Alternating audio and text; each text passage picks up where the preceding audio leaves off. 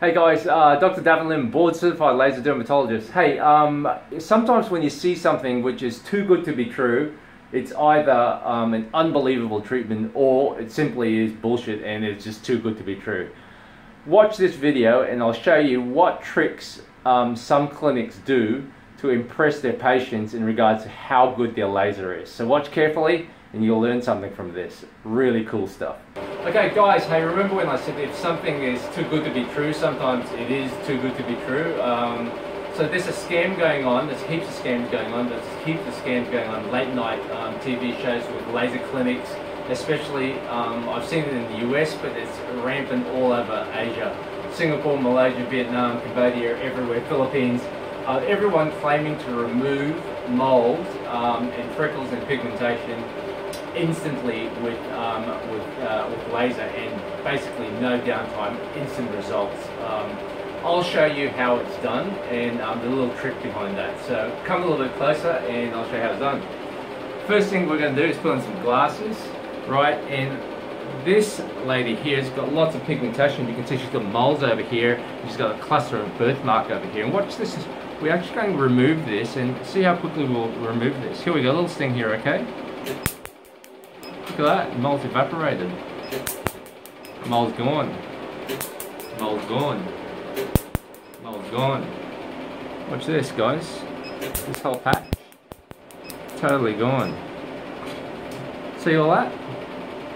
That is... It's gonna put everything on safe. That, my friends, is utter bullshit because um, this is how it's actually done. What they do is they use this, which is basically um, an eyeliner. And all we're doing is we're dotting these areas here um, with an eyeliner. And the carbon in the eyeliner uh, is absorbed by the laser.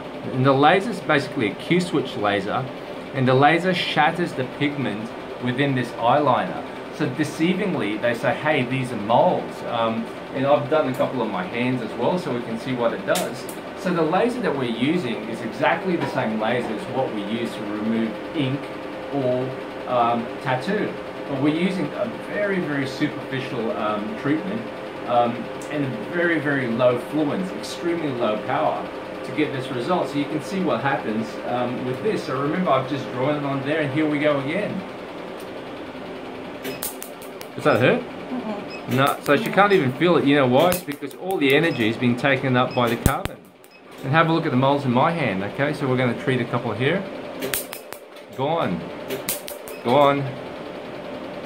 Gone. Oh, no, guess what? That's my real mole. See that? it's still there. So that's a real mole, and watch this. Gone completely. There you go, guys. Um, so there's the trick. So if something is too good to be true, it is um, too good to be true there are ways to remove pigmentation, there are ways to remove moles. Um, I'll show you how it's done properly in these other videos. Thanks for watching and really stay out, just, just be really careful and really be really wary about uh, people who promise too much. Okay guys, thanks for watching. Hey guys, so um, that's how it's done. It's, it's, I just used a really simple um, tattoo removal laser. It's called a Revlite. Uh, at a very, very low power setting extremely low power setting and we managed to get that pigment off. So basically what happens is that the laser beam itself um, uh, targets the carbon, which is a chromophore, um, at a very low energy, just evaporating it and, and blasting it. It's um, vaporizing the, um, uh, the carbon.